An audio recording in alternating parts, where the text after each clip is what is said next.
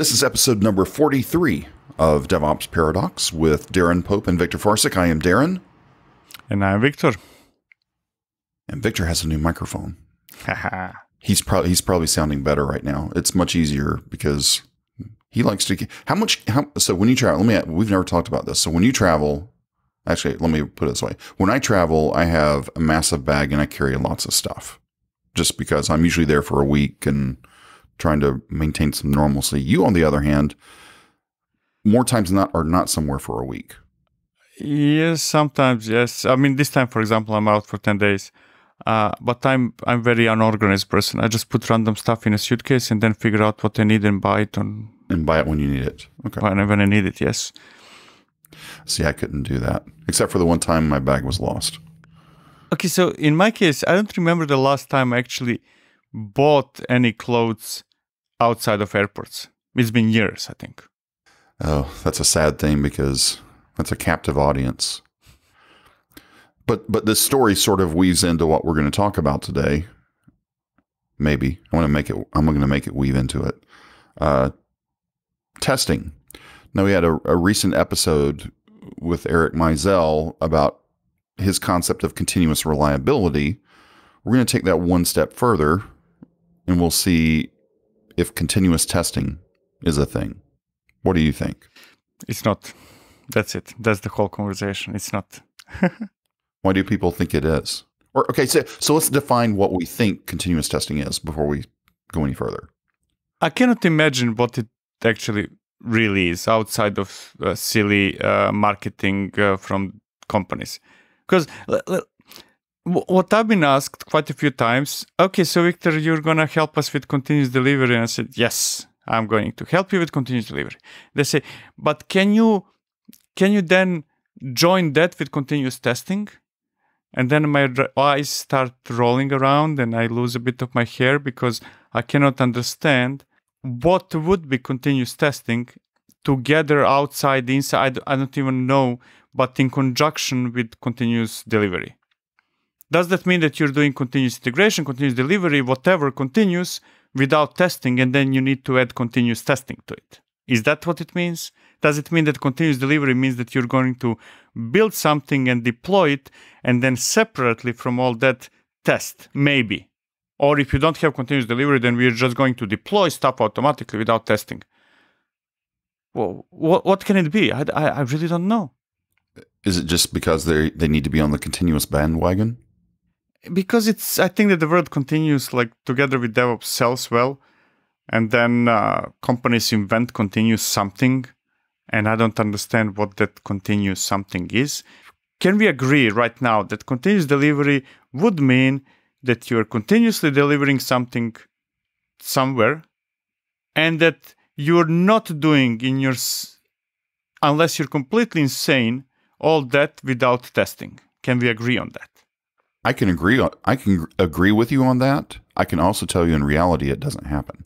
Yeah, no, no. In reality, reality is is I, I, I have difficulty coping with reality, but logically speaking, continuous delivery includes testing, right? Yes. So what is continuous testing then? It's something made up. it's it's the same thing when people ask me, okay, uh, we want both CI and CD. No, CI is is a subset of CD, and uh, testing is subset of CD, and building is subset of CD, and deploying is subset of CD. So there is no, if you're doing continuous delivery, there is no such thing as continuous building, continuous testing, continuous uh, coffee making, whatever it is. It's all part of a process. Now, my theory is that because still companies live in a highly separated uh, with highly separated departments. And then yeah oh we're a testing department. We don't do whatever uh, the others are doing. We don't cooperate with others. We don't work with others. They have something called continuous delivery.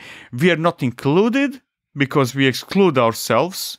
And then we need to come up with something that's going to be continuous delivery uh, sorry continuous testing. That's that's the only thing that i can imagine can be happening and it's just a sign of companies not understanding that there is no continuous anything without different experts working together. Well, it's continuous also implies to me that you've eliminated manual gates as much as possible. Yeah, there is no continuous with gates. That's probably the most inflammatory statement you've ever said. Say it again, because that's an important phrase. There is no continuous something if there are gates, simply because gates means I stop, I wait until somebody approves it, and then I continue. Logically speaking, I'm not talking about how companies implement it, but logically speaking, if you need to stop and wait for some unknown amount of time until somebody approves something, then it's not continuous. And I'm going to coin a new phrase right now that probably does not exist in industry. It's a delayed delivery. Right? It's simply it's it's logic. It's nothing to do with tooling. Forget about tools. You cannot say that you're continuously doing something if impo- insignificant part of that something you're waiting for something to happen. Okay, we're, we're we're we're hammering hard on the people that are delusional right now. Yes, yes. If you're delusional, then uh, I think that this is a wrong podcast for you. Uh, there are many people who can do real professional uh, assistance. Let's go to the exact opposite of that. Mm-hmm. What if people do not believe that they can automate their test at all? They said it's too complex. A human has to do their testing. That's better. That's bad, but that's better than the situation where they're fooling themselves that they're doing some automation just for the sake of fooling themselves and they're not, which is very common case. You know, when, when when you write a bunch of tests and then they're failing, 20% of them are failing and you still have a month of manual testing afterwards. That's fooling yourself. I would be actually happier if if that group of people would say, okay, no automation, we're not capable of it. It's admitting something, and that's that's good, that's not bad. Admitting that you cannot do something is not a bad thing. There are many things that I cannot do and admit. I cannot dance. And I don't dance because I cannot dance. I admitted it. But do you want to dance? No, that's separate. You can dance if you want to. You can leave your friends behind. Yeah, fortunately for me, I don't want to dance. But if I would want to dance, I would still admit I don't know how to dance because uh, my feet don't, are not controllable, uh, which is a separate subject. But admitting, eh, actually, in many cases, it, it's not only admitting, it's yes, this is a horrible application that was not designed to be testable, and we are not going to test it automatically. We're going to continue suffering until one day we go bankrupt or we rewrite that application. That's a valid statement. There's nothing wrong with that. It's a known state.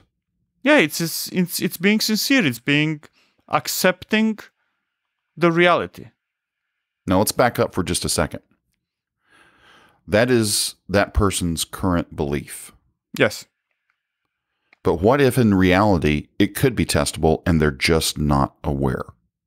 I doubt that that so uh, that it could be testable and they're not aware that's possible. But if I rephrase your statement and say, what if they are aware that they cannot make it testable?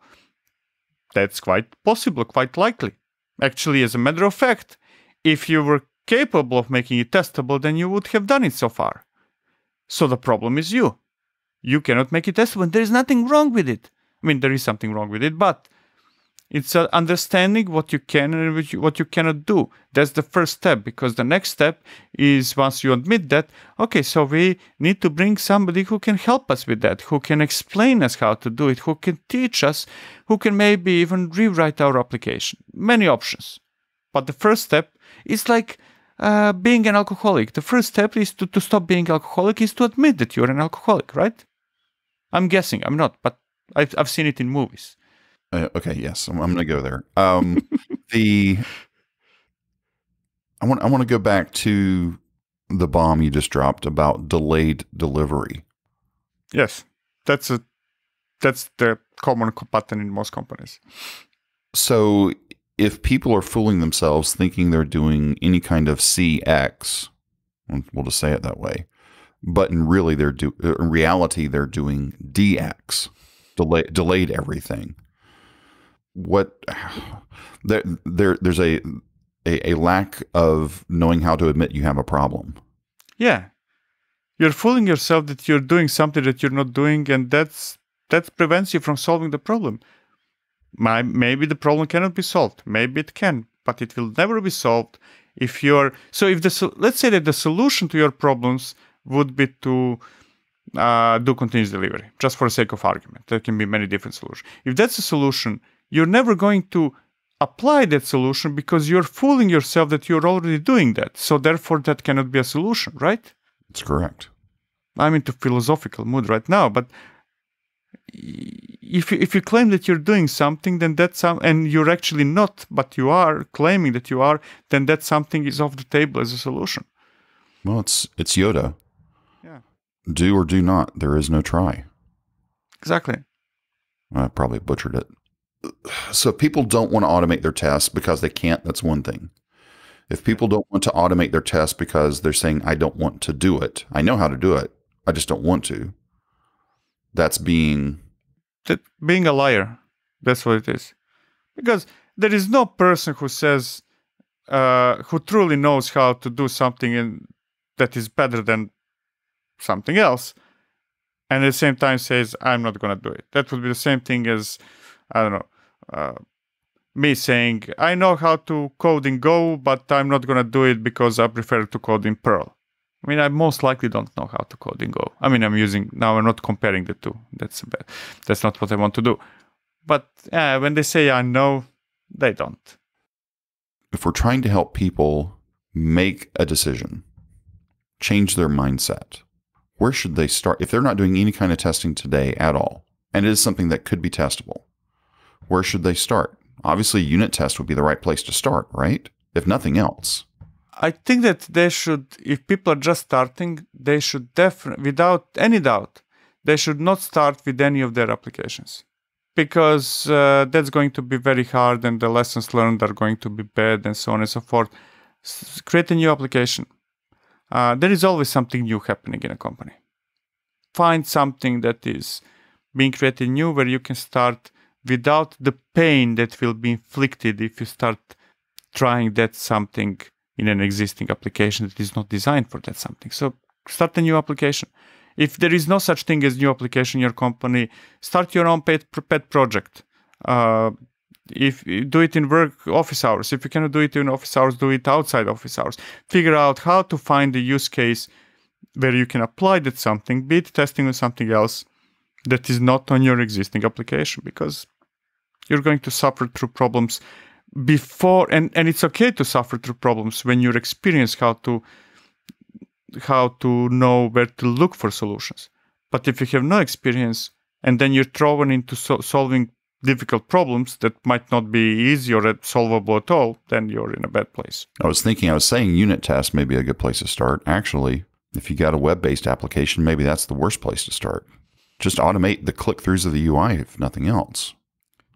yeah something but th- th- that's also problematic that's why i think that you know if if you start from uh, i think that you should start from your, uh, unit tests actually uh, because that will drive the design of your application uh, otherwise you're going to if you start with clicking ui then you're going to exaggerate in the amount of tests.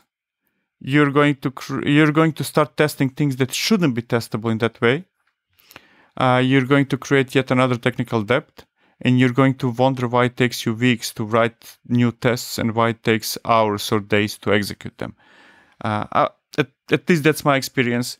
Uh, when people those that i've seen that start from there they simply think that uh, that's the way how you should do all your testing and it's not Let's go back to what you were talking about going to create a new application Mhm. instead of working on your.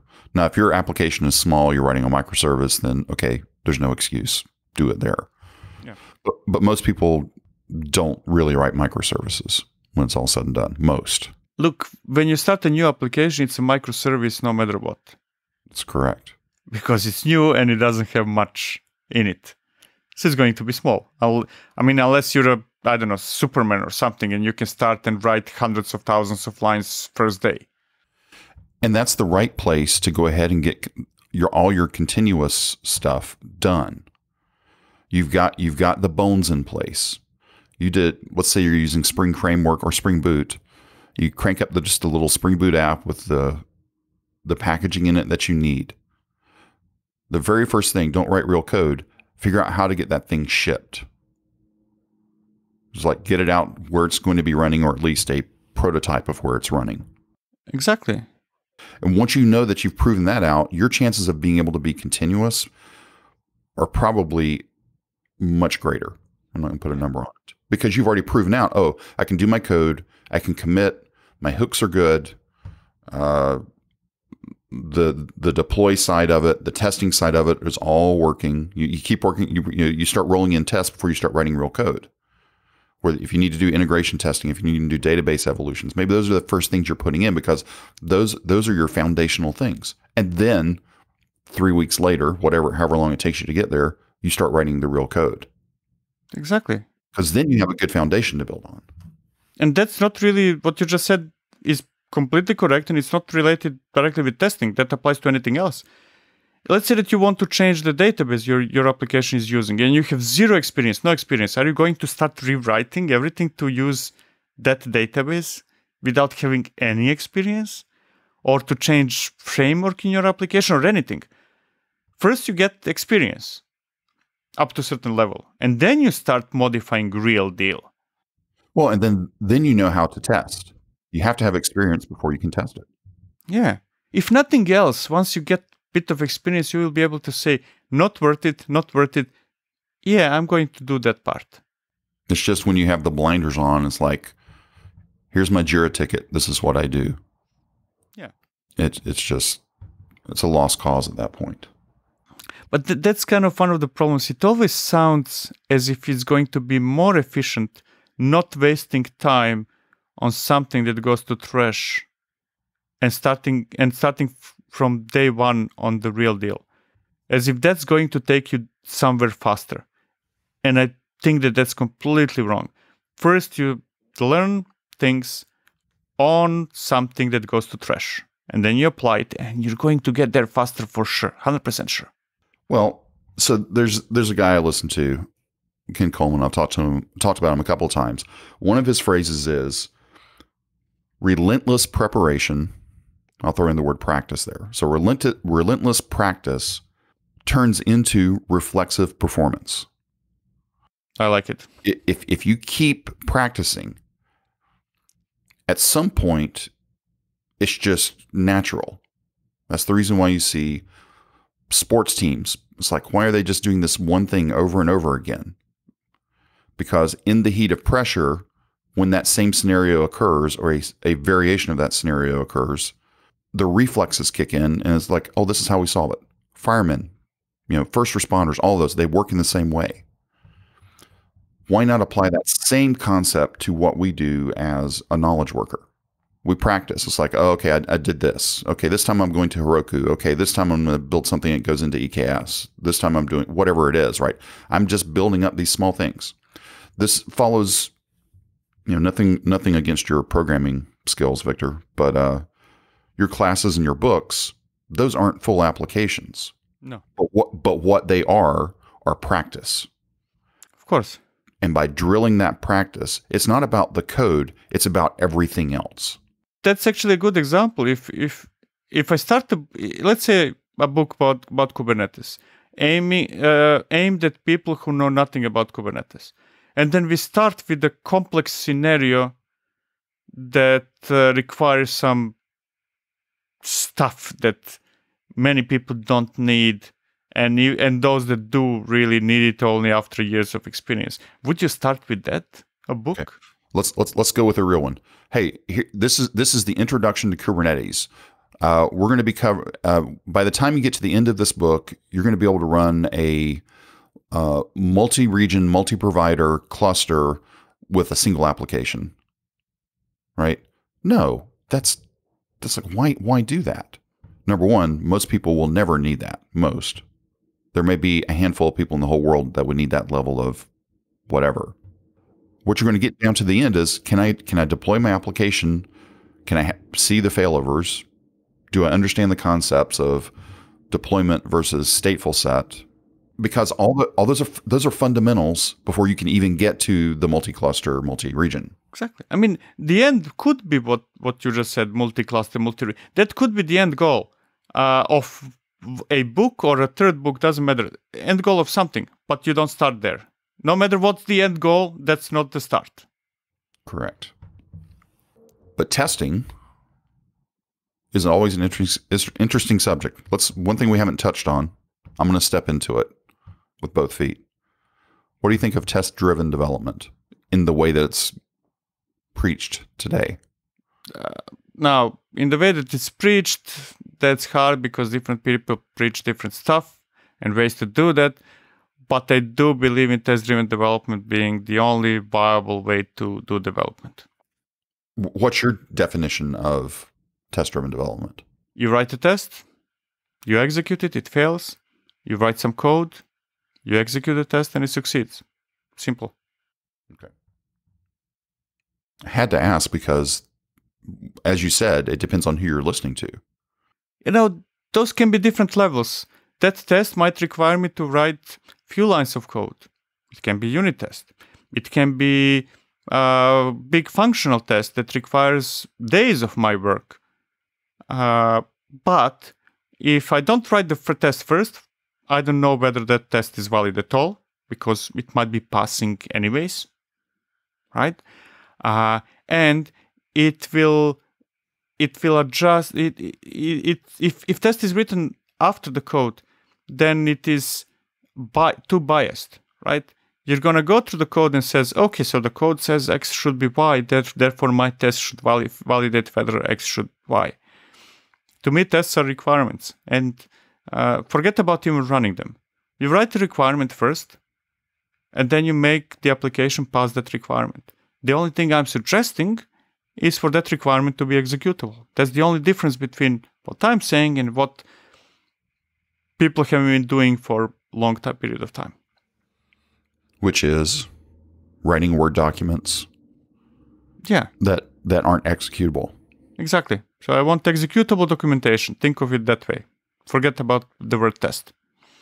Okay, you've come up with um, two phrases. One you just dropped too. Uh, delayed delivery. we'll probably get a lot of hate mail on that, but that's okay. At least we'll get some more. And then this last one, executable documentation. Is that what you said? Yes, executable documentation. Written before, not after uh, the subject that it is being documented. That's what else can you say? Without without clear requirements, without I'm not going to say documentation, but without clear requirements, why are you writing an application? Now, clear meaning 80% clear. Because some things you won't know until you get into it. No, or it can be yeah, eighty percent. It can be ninety nine. It can, it can be hundred percent. Where where I where I disagree with how we were doing in the past is that I don't believe that requirements should be write, written months in advance. It can be I'm going to write a requirement for a thing, a single thing that I'm going to about to start implementing. That's okay. And those requirements can change. That's also okay. I just want them to be executable. I just want them to written, be written in advance to confirm that that requirement is not fulfilled. And then you to fulfill that requirement and confirm that requirement is fulfilled. Okay, I'm gonna I'm gonna make one more statement here, and then we'll we'll wrap. But I want to see what your response is to this. Most people that write requirements primarily are not technical, and the the skill gap between those people the the skill gap is those people do not have the ability to write executable requirements. How do we help that? Stop not knowing uh, anything about the industry you're working in. Th- that that would be unacceptable anywhere else. Why is it acceptable in software? I don't understand. Can you work in a hospital without knowing anything about medicine? If you're the janitor, yes. Even even the janitor knows the the the hazmat bags. Yeah, and probably knows what to throw to trash and what not. Uh, but uh, I'm not talking about. Uh, so one thing is to work in an industry and do a job that is unrelated with what that industry does. That's okay, janitor. That's that's that's cool. But affecting directly the outcomes of that industry without knowing what that industry is, that's insanity. That's crazy. Whether you're a nurse, whether you're a doctor, whether you're a radiology tech, all of you have had biology. Yeah. And you might now now there are different levels of experience. I'm not asking everybody to be the best coder in the world. I'm not asking that from anybody. I'm not asking that even from from developers. But to have certain level of understanding, ah, come on, it's a must. And if you're not willing to keep learning, pilots have to go back for recurring training. Or at least, okay, let me rephrase it. Okay, you don't understand what what's it all about. You don't have capabilities to contribute to that. Then actually limit your work to the to the absolute minimum possible. So if you're deci- defining requirements, great. Talk with the, the team about those requirements, but don't be the one who defines them. Defines them. This, explain. You know, I think that people would like uh, red color. Excellent. And then let somebody else define really what that means. You have the visionary person, and then you have the impl- the translator person that is able to get it to the implementer. Yeah. And that's okay. Well, dang, we didn't fight enough on that one. Um, that's okay. this testing is always a very touchy subject because I don't see it done. Number one, I don't see it done very much. And most of the time when I do see it done, it is done very poorly. Exactly. But nobody today denies the benefits of having automating automating repetitive tasks. No sane person sane person def- denies that.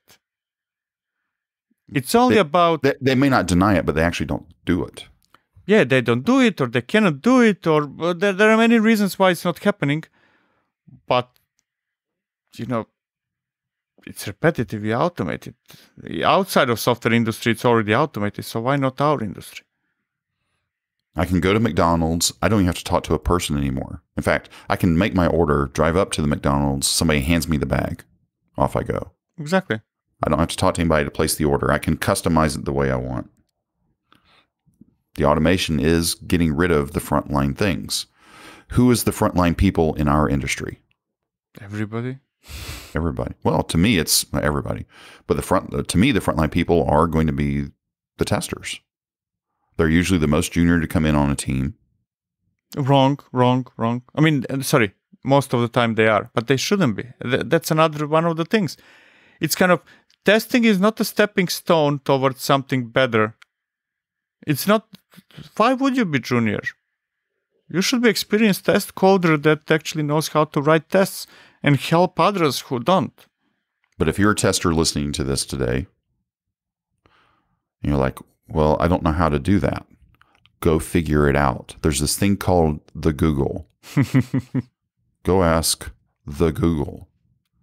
And shameless plug, Victor has books and courses um, to help think. I mean, and there's plenty of people that do. That's we're just sort of joking there, but not really.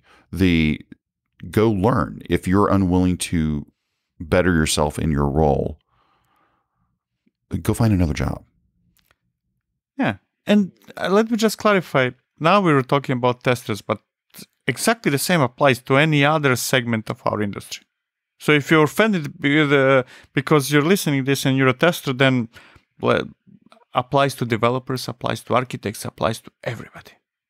It's always interesting to go into places that on on on what I talk about, and then I introduce Cobra, especially since people, oh yeah, we're starting to do some stuff in Go. Just well, I say, have you looked at Cobra yet? No, what's Cobra? Oh dear, right? And Co- which, if you don't know what Cobra is, it's fine. I'm not throwing, you know, I'm not not saying anything.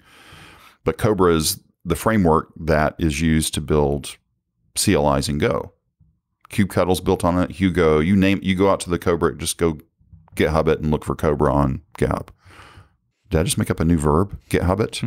GitHub. Um, the you know it's it's those kinds of things so you have to always be learning if you don't want to be if you don't want to continue learning to me you have two options maybe more but two obvious options to me one is retire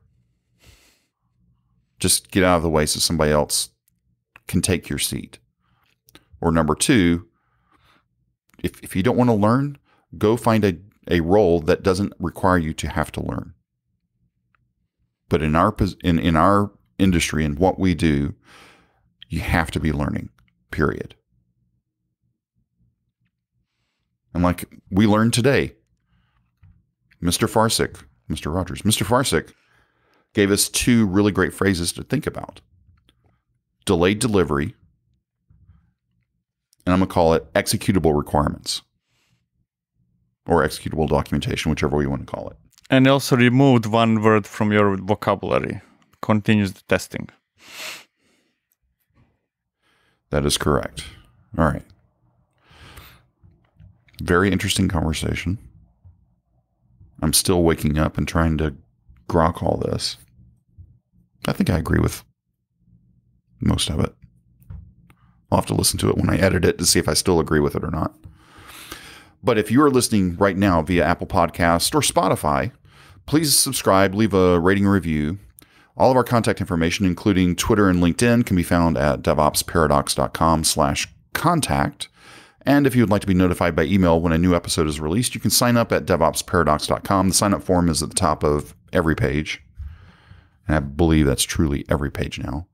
Uh, also, if you're wanting, uh, down in the show notes, we'll have some links out to other things. Oh, by the way, by the way, here, fill some fill some time for me, Viktor. Quick. Hello, my name is Viktor. How are you today? Okay, keep going. I'm almost there. no, you cut it Okay, later. I'm there. I'm there. I, yeah, no, that's that's staying in. That's that's classic. Okay, so we got a recent review uh, on uh, Apple Podcast from Folk Engine, and uh, let me let me read that just in case you you know it's, it's it was great. It says as a developer who is finally embracing the harmonic convergence. These are great words. That is happening between development, operations, and quality. This has quickly become my favorite technical podcast. A wonderful, wonderful companion to Viktor Farcic's excellent books and video training courses. I love how they embrace and dive into the ambiguity of the DevOps craft. Highly recommended. Folk Engine, thanks for the review and the five star rating. See, you as a listener can do the same thing. You can leave a rating and a review. Now, Folk Engine, you are using some really big words there. Harmonic convergence. Wow. That's too much for me. I, I wish there was harmonic convergence between development and operations and quality at most places. It's more like cognitive dissonance more than anything else than harmonic convergence. But anyway, testing. Do it. Do it right. If you've never done it before, start small. Once you start small, you grow steady. Just little by little, little bits here and there. Now, right now, today is Sunday. I don't even know what today is on the release date. Today's release date is, I should always write this down like a doofus, and I forgot. Um, today is February 19th, if you're listening on the release day. Viktor, you're probably somewhere. I know, oh, I, I know exactly where we are today. We're actually physically sitting side by side. Oh, we're in Vegas. We're in Vegas. Yeah, baby. And this is not Vegas is not my favorite place in the world. It's the only it's one of the few cities you can go from the airport, get in a cab, go to your hotel, stay there for 15 days, never come out of the hotel, get back in the cab and go to the airport. It's not one of my pleasant most pleasant places to go. But yeah, we're actually physically together. So during this week we are recording hopefully a few more episodes just because we'll be face to face and whatever it is. But anyway, is that it? Anything else about testing for today? Learn it, apply it, just like anything else. That's it. That's it. Thanks for listening to episode 43 of DevOps Paradox.